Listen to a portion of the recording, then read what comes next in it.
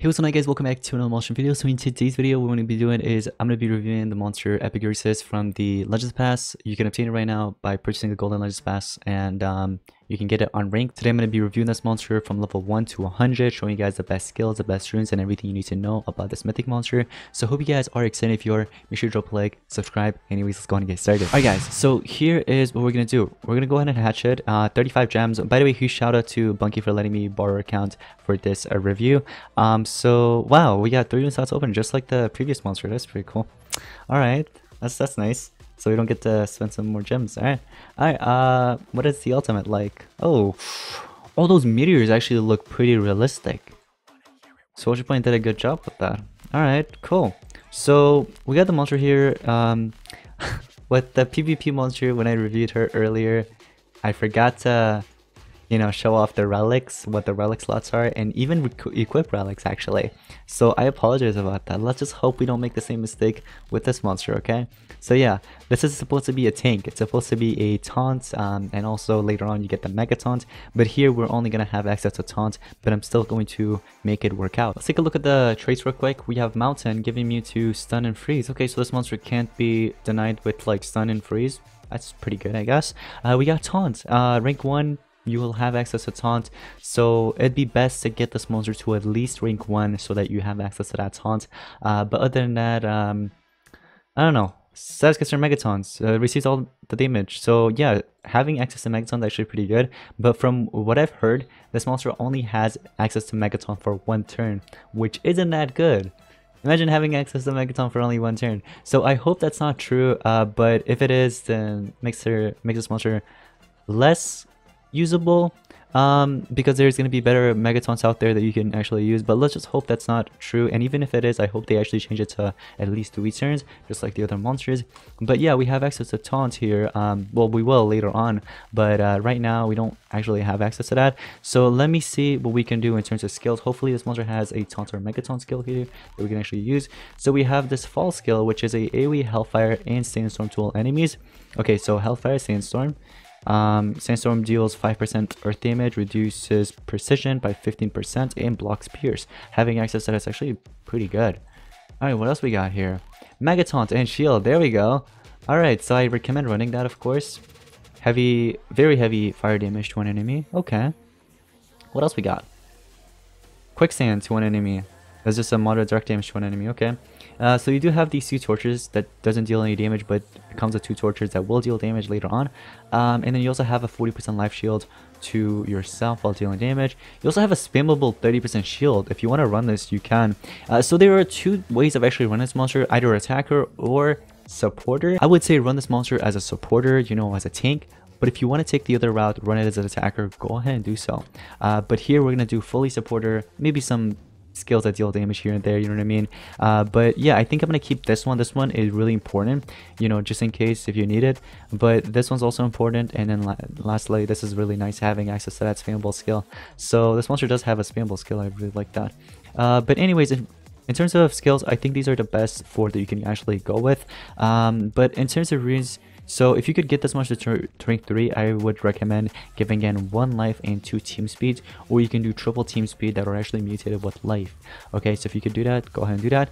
Um, another rune setup that you can go with would be 2 life and 1 speed. Sorry, not 1 speed, 1 team speed. So 2 life, 1 team speed. Alright, so anyways, uh, with all that being said, what we're going to do is check out the relics. I don't want to forget this one. This would be a really good relic to give. Especially if you have this monster to at least rank 3. So Vada Melter, Rucha armor, Tertullian's armor, and last but not least Killer's armor. So I'm gonna go with this one for now. In terms of trap, Fundy's trap would be best. Wormhole trap, also pretty good. Um, and maybe Rodden's trap as well with Nebulon's trap if you have those, either one of them. Uh, but I'm gonna go with this Fundy's trap, of course. The ultimate is called Blocks and Bombs, which is a modded fire damage to all enemies, apply stun, hellfire, and curse. So it comes with three tortures, or two tortures, one um, denial skull, uh, denial thing, which is stun. Alright, so we got everything set up here, and it has two elements. That's actually pretty good, because if the enemy attacks you, um, you know, having access to those two is actually not that bad. You know what I mean? Uh, if it's if it's a dark attacker, they'll deal less damage, especially that this monster's a tank. Same with fire, vice versa. So I thought it'd be fun to take this monster against himself, legendary version. So here's what I mean in just a second, alright? So we got ourselves our tank. where we need here is maybe a supporter on the side, and then maybe an attacker as well. So for example, any attacker, I don't want to make it super powerful. So, well, not that's not really an attacker, but you can use it as attacker if you want, or Flasherion actually. Uh, but if we're gonna do that, Flasherion is an artifact, so I can't really do much. Maybe heal, but can't really give double damage. So we're not gonna use, I guess, the damage boost and stuff like that, just to heal. Uh, and then we have our tank, of course. But the tank, in the other hand, we're gonna have to actually apply um, what's called a Megataunt there. Uh, the good thing is that these guys are slow, so I'll be able to do that. Uh, but again, rank 3 is where this monster will be really good, or rank 1, because you'll get that uh, taunt. If you can only get it to rank 1, I would suggest running it with 2 dodge areas, alright? So anyways, we have our attacker here. We can go ahead and deal damage. Bam! Look at that. Sweet, alright. So now, I need this monster to play his role, which is applying that Megataunt with shield. So this Megataunt comes with shield, which is pretty sweet. 50% shield. You can go ahead and use that. Let's go and charge up. Hopefully that monster doesn't die from all those tortures. Let's just hope so. Alright. Let's just hope so. Oof, that's a lot of tortures. Ah, he went with the Megataunt. Or Taunt would kill me, I say. But guess what? I have access to Megataunt. Way better. Alright. So here we can deal damage. It's an AoE fire, comes with medium shield. You can also do Hellfire and Sandstorm, so two tortures stacking up on with all of those stuff, as you guys could see. And he's gonna do it back to me, but I have Megataunt, so I'm protecting everybody in my team. You know, those other two monsters. I'm protecting them, and look at that. Oh, that's sweet. Alright, that monster is definitely dead from all those tortures. 100%. So Epigursus, we're gonna use another one of your skill which comes with 50% shield. We do need it right now, so let's go ahead and use that. Just like that. He's gonna do it back to me, but it's okay because I have the shield protecting me. So I, I don't, it, it doesn't really remove any um, damage, like actual life from me. You know what I mean? And with that damage dealt, it's only removing shield. All right, and Epigursus, we're gonna do 30% life shield, which is spammable again. You don't need any stamina for it. If you get hit with CDA, it's completely fine. And that monster is definitely dead with all those orders. There's no way you survive that. Yeah, that's what I thought. so that monster just got destroyed right there. Uh, so which one's better, of course? Of course, the mythic version's better. You know? The legendary monster, mm -mm, not so good. Alright, so here's what we're gonna do. We're gonna get rid of that Shadow Weapon because it just dealt too much and it applied lots of tortures. I guess we could do Master Red instead. I haven't used Master Red in so long. Alright. We're gonna charge up with Flasherion. Vulnerability, light weakness, water weakness. Where's my damage boost? I don't have any damage boost. Oh, interesting. Okay, we're just gonna deal damage to you then. Get rid of you. Alright, Epigursus. Best thing to do, start off with Megataunt and Shield if you have it unranked. So now that we have the shield and megataunt, I'm gonna let that monster take in a turn and do whatever he wants. So go ahead and attack me, please. Ah, oh, you want with the taunt and skill mirror again. Come on, attack me because I have megataunt and shield. You really don't want to do that? I'll go ahead and give my shield to myself there. Now we lost megataunt, so he's just gonna attack whoever he wants now. Oh man, I really wanted you to attack earlier, but he didn't. You guys think he's gonna attack again? So here's what we're gonna do. We're gonna do the shield this time. The spammable shield. And now that we got the turn, we're gonna do the Mega Taunt with shield. Alright, ready? Let's see if he actually attacks.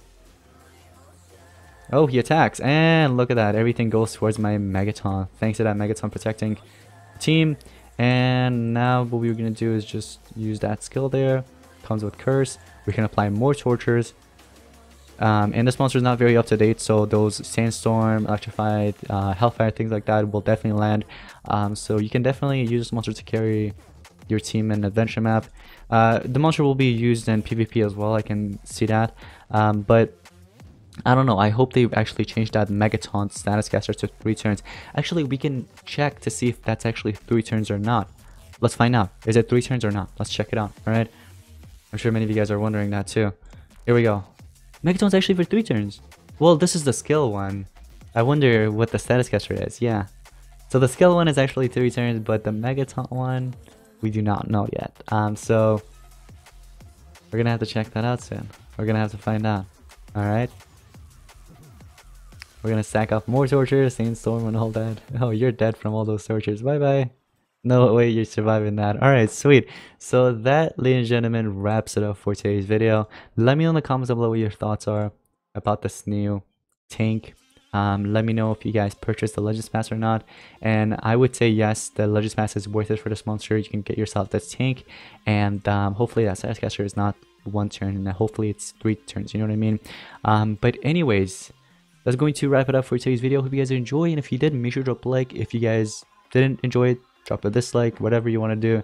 But let me know in the comments below what your favorite part of the video was. And I'll see you guys in the next one. Peace out.